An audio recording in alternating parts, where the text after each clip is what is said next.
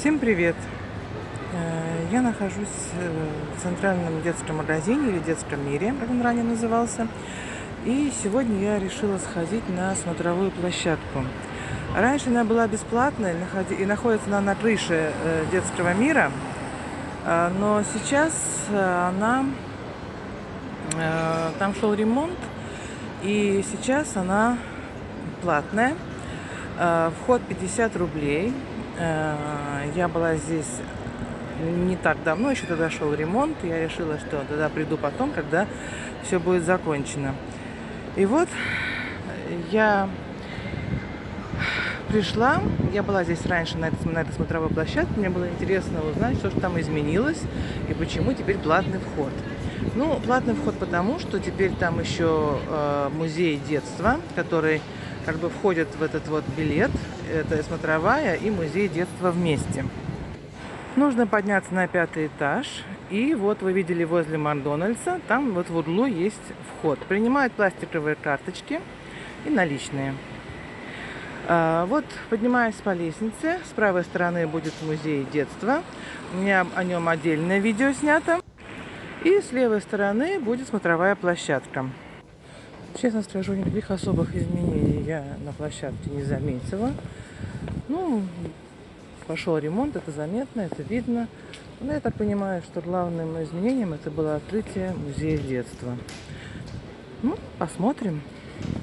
Приглашаю вас всех со мной на смотровую площадку. Смотрите. Вот она.